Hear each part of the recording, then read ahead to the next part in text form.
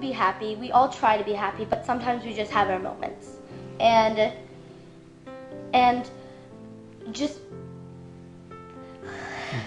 and because we have our moments, we want to change those moments from being sad to happy, but it's not always that easy. We need to make someone feel good after they might be hurt.